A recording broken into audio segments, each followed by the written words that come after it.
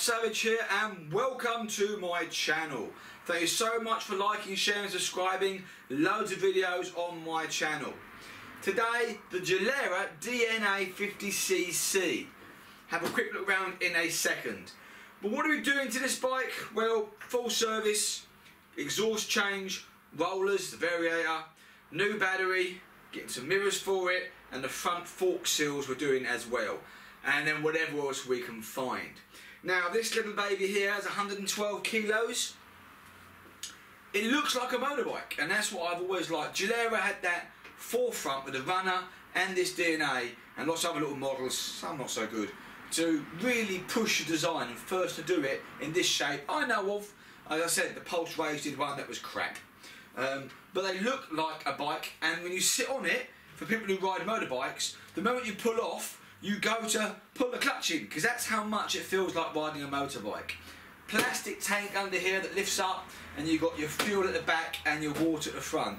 Don't make the common mistake of filling up the water bottle. It does happen. Great 14 inch tyres back and front here, 120 at the front, 140 at the back. And they look really quite chunky. Common problem is why the stand is here in my hand and not on the bike. The fact that they rub okay? He's done this little bit here to keep it down. You need to do a bit more work than that to keep this stand down and not to have it dangling on the floor. So he's got a side stand on here. Suits the bike to be honest with you and the style as well being a side stand. I'll debate whether I want to put this one back on or not. It is however only a few bolts. Does this start? Yes but not quite how I like it. Uh, starts instantly but I think there's a bit of a playing with it. The last owner um, he had to mess around with the carburettor. Someone, as I said in my last video, that had drilled through it rather than actually putting a prop one. He's gone 62. I've brought, yeah, I know it's only a cheap little exhaust, full power, bit of sound to this one, um, but it should, it will run a lot, lot better rather than the exhaust on here now that it's not from here. I can see you can buy them, but if you look at the manual and what they came with was like a bit like a Speedfight 1 exhaust that goes along a bit at the, at the end as well. This thing looks like a Stalker exhaust door. Oh, it's just not nice. And it's coming off. And this will be going on. One of my first jobs I actually want to do. See if it breathes right and see what it rides like as well. Just under a couple of gallon tank in here. Um, usual oil and gearbox oils. There's 2T. This the 50cc as I said they are fast. They really are fast. There's some amazing speeds out of these. A lot more than most of them. I had done up one before and I got 60 out of it. Hand on heart, 60. And yet I had a, a 125 version 4T and I couldn't get more than 56 miles an hour and I absolutely hated it. It didn't run right from the get-go. But these can run really well with a few modifications. It's got its usual little bits of damage around it. I'm not going to spray this one up. Um, the clocks are quite nice and they do go. It's nice to see this is all together. Please imagine the seats on. But this is gone. so that needs doing. Now, being on a side stand and still having the able to pull them down, I'm going to have to build a bit of wood, jack the whole thing up the floor and then drop both of them out, taking away the speedo and obviously drive cable and obviously the brakes and able to drop them out and you replace both. Don't bother just doing one indicators need doing as well. I'm not going to just try and glue it up there. It, would be cheaper and easier, but it'd look a bit cack anyway. Um, and that's the exhaust. As I said, I just don't like it. It isn't right. Um, I know if you put in, you'll get this one, but it isn't right. Carburetor looks good. Um, I have to clean that still. Other than that, yeah, it's a pretty decent little bike. The key in here, which one way lift the seat and the other way lift the top, so you'll be able to get this undone this way, like that. Oh, yeah, it's common to get that there when you open it. It should have a little sticky thing. This what I've seen, I've actually seen people fill this before, because this is nicely tucked in here where you put your fuel. Obviously 2TL. Now remember, E10. You won't like it, the fuel will not mix with the oil, it won't run, don't use it, put it on super, premium, 95, and not the new E10 rubbish that's coming out and flooding the market.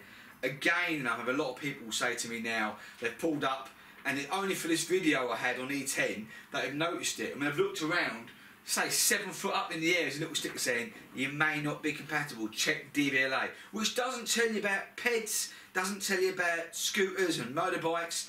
And when you go on there, so limited. Come on, I mean you're using crops for God's sake, which normally have food, to make ethanol, you know, through the same process as alcohol. All that is not green. I know I said coal power station before, but end of the day, it's natural gas, wood, rubbish, whatever. You're still burning it, you know, so it's it's not good. Just oh, don't get me started again. Anyway, um, yeah, let's have a quick listen to this. Oh, I have it ready actually. It says.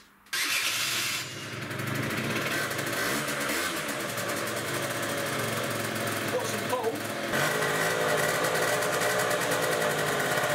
I need to replace the dust seals on this bike, not necessarily the actual seals themselves. There's no leaks, it's just these were ripped apart.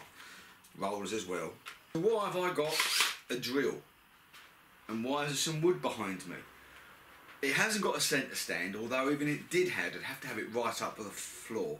We need to be able to get the wheel off and both of the front forks out of the frame. So the bike has to come up and then this has to come off and then both go out to change these.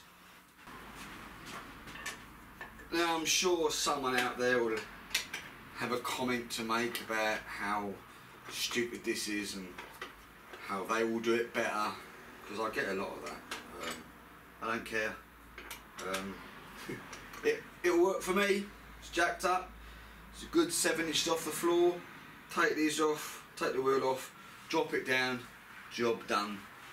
For cut the screws. I'm liking it. It works, and that's all that matters really. And there you go.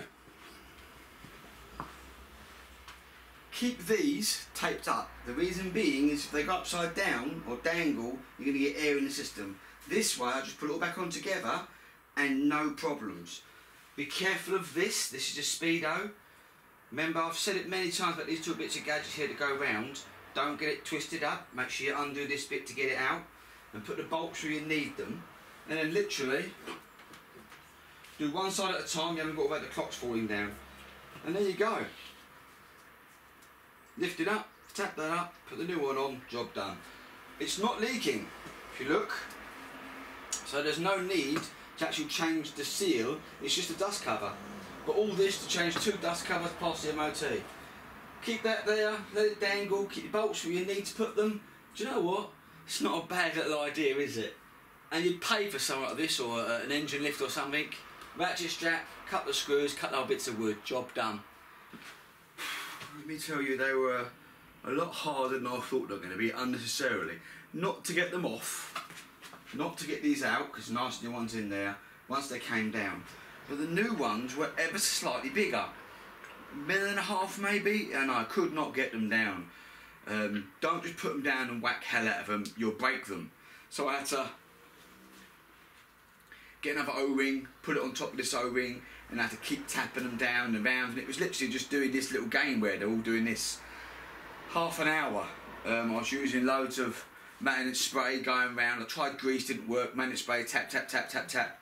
Um, eventually, wrongly, I had to grind down ever so slightly on one corner and another corner, and then tap them in that way. Um, yeah, for the price of 30 quid, being in a garage, might be something you need to do rather than building a frame and all this sort of rubbish. But it's up to you, you know, I've done it now. There's no leaks. They look really good. I'll show you a bit later. Um, just literally putting these back on now. Tighten them up, lift this up. Make sure everything's back together properly. Don't this bit up, alright? Because it's your life if you didn't tighten up or, you know, they're up like this. Make sure they're bang back on. We'll have a look round in a second to make sure I show you all the bolts you've got to do. this one and this one here are the most important. When this goes back on, it's fine. Remember to get it slightly higher, not, can't really see, can you? but it's in there. Don't do that. Keep that up, that keeps the brake fluid there.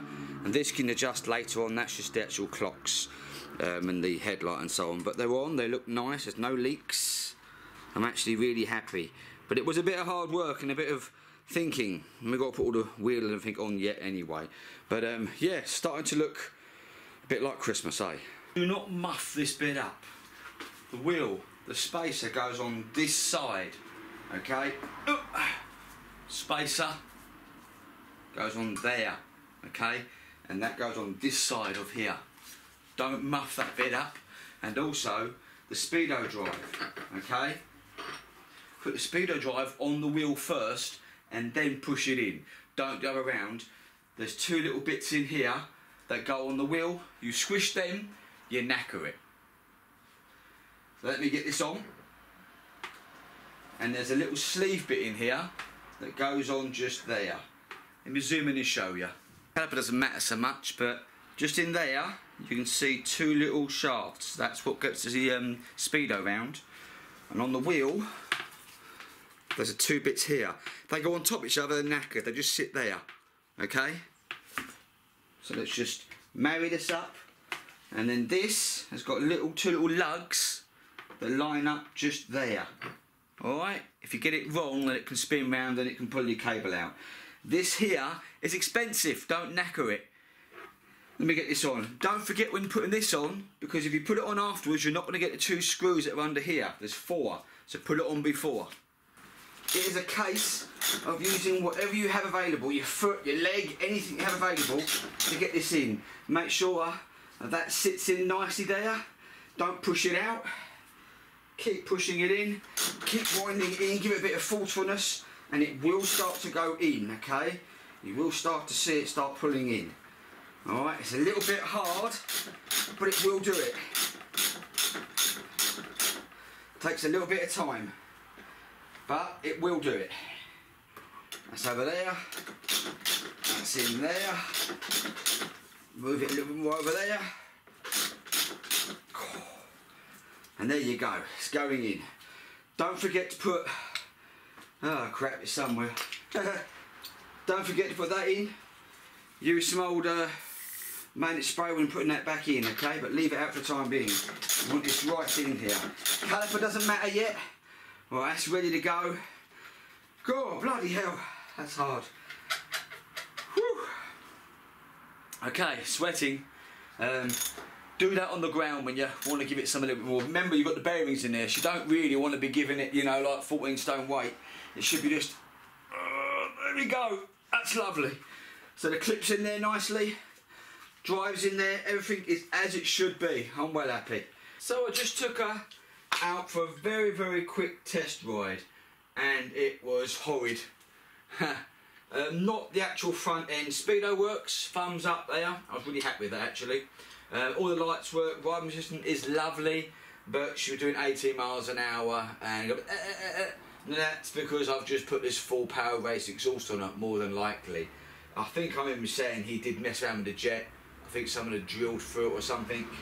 Um, not quite sure. But it is horrid, so it is carburetor time off. So carburetor off ain't rocket science, you know, auto choke,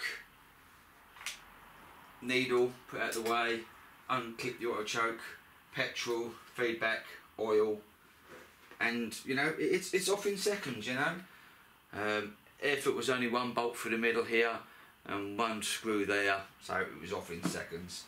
Um, we're just seeing now what we have underneath here. I need my glasses on really, don't I? You know, there's no way I'm going to tell what size jet this is. I mean, okay, I put a big sports exhaust on here, and with that, I don't know. All right, you could. I know they're on eBay and it says DNA, but anyone who's bought things from eBay, you know that it lies. You know it says it fits this and fits that, and you get it and it just doesn't. All right. I mean, then Fork Seals said um, they were for this bike, and I had half an hour to try and get them on, and in the end, I had to sand them ever slightly down um, to get them in. They would just not do it. They would just not do it. So please don't believe everything that you read on eBay when it says it will fit this, it will fit that. Because I tell you now, they don't. Right, what we got in there? Um, it's not great. I have to say that is that's not pretty. There's all bits in there. So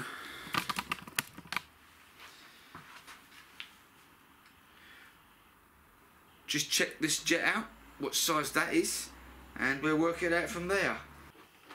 So, there was a problem with the carburetor, I know that.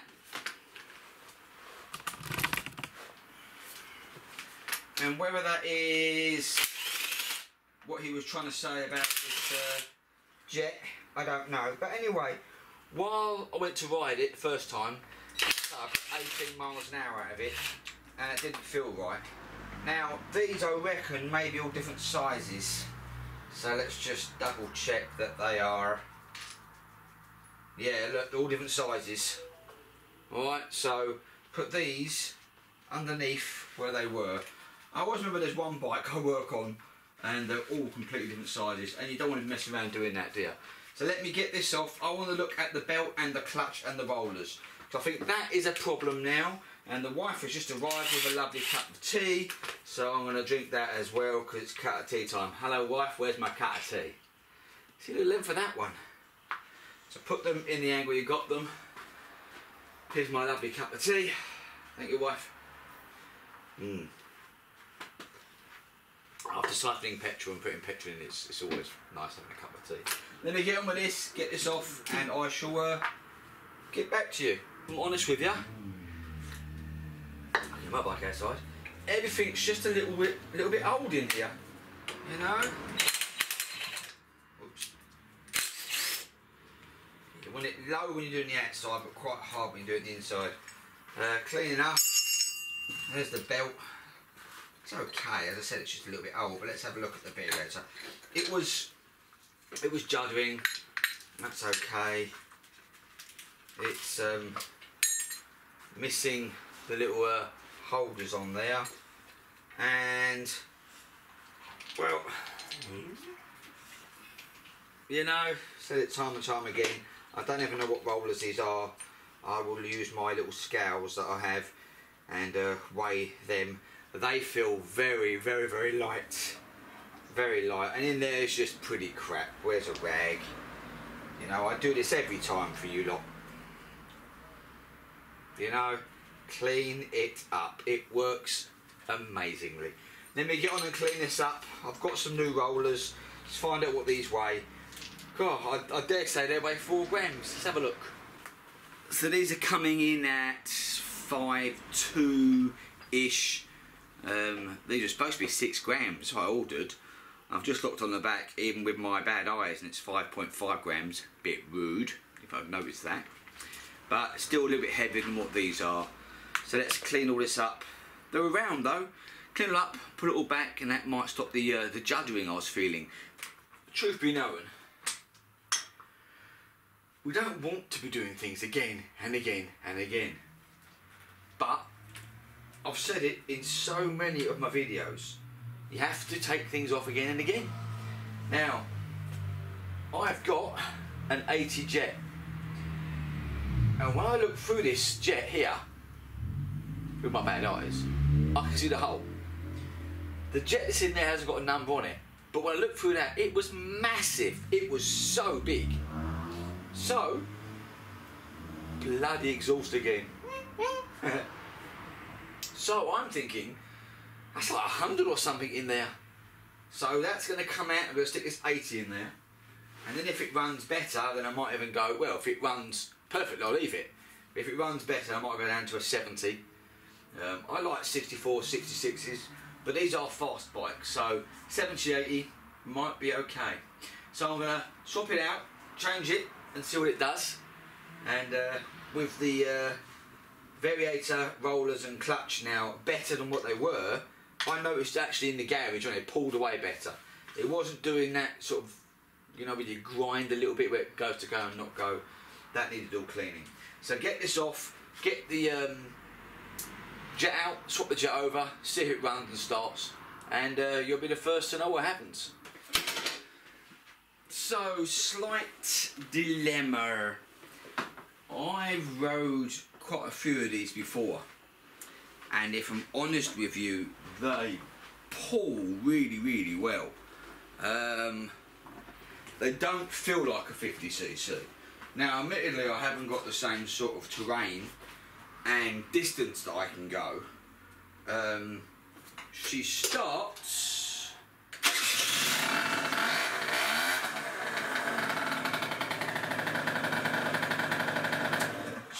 Really well.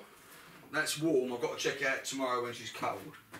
Um, starts really well and it's ticking over around about a thousand ish, which is great. Um, I had three half turns and she wasn't really pulling that much. Had to up the revs. Um, six, five half turns and I went up and down the road 28, 29, 30, 31 up to 35. Came back down, ran out of road. Um, six half turns, went up the hill really quite quick this time to 35 and then down again 40 odds. Um, so it was better. But you don't normally have it six half turns out. But I've got an 80 jet and also now uh, haven't checked the air filter. Um, five and a half gram rollers, which I would probably like about seven if I'm really honest with you. So I think there's a little combination there. I'm going to buy some seven gram rollers. Um, I like a 76 jet, but while it's starting and stopping, I may leave the 80 there. I may sort out some air.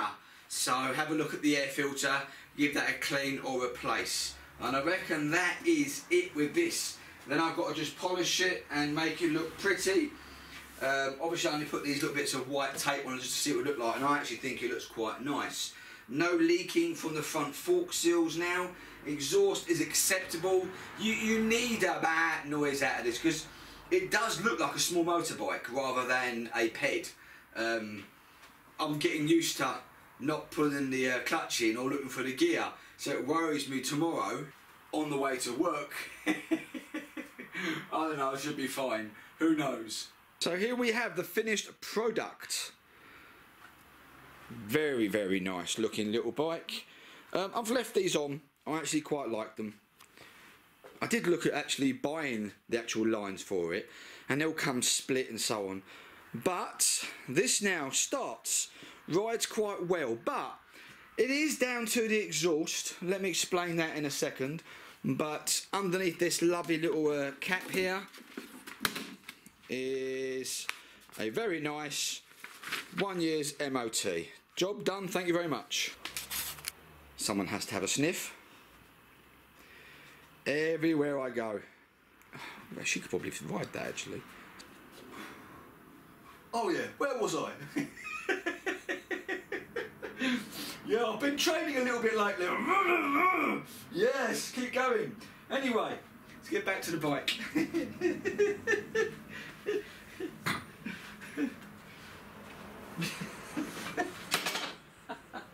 uh, people, I say people, my wife says to me, what goes through your head? Oh, I just can't answer. Can I? Anyway, ignition on.